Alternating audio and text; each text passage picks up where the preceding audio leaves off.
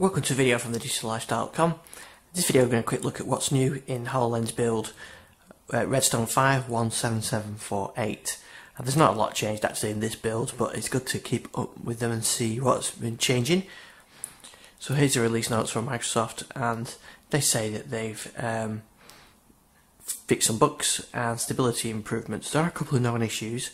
Uh, lower than expected frame rates when you're using the holographic remoting, that's for developers and they've also investigation investigated the issue where it was blocking users from receiving incoming calls with uh, Skype and Microsoft Remote Assist.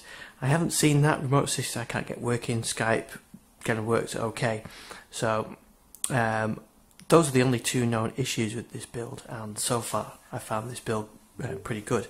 It did introduce, uh, Redstone 5 introduced a lot of new features like notifications, uh, Miracast streaming, which works really well. I've been testing that and actually it works much better than using the, the web-based streaming of the app that uh, Microsoft's made. So if you want to show people what you're doing on HoloLens and connect there via Miracast works much better and you can use the Miracast app on a, on a Windows 10 PC as well. So it's a great way of moving there, of showing people what you're doing.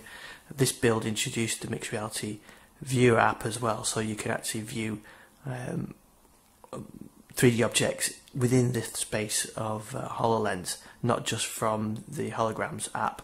I've, I've, previous videos have shown these features off, but in this video I just wanted to tell you about the changes with this uh, this build. They were pretty much coming to the end of development of Redstone 5 for HoloLens, as is for the PC as well. So maybe a couple more builds, get rid of these known issues, and then that'll be ready to roll out. So after a few years of having not had a lot of HoloLens development, now we're getting quite a lot. We had Redstone 4 a couple months ago, and now on Redstone 5. So interesting to see what the next development brings with 19H1. So more on our YouTube channel on thedigital at IanDixon on Twitter.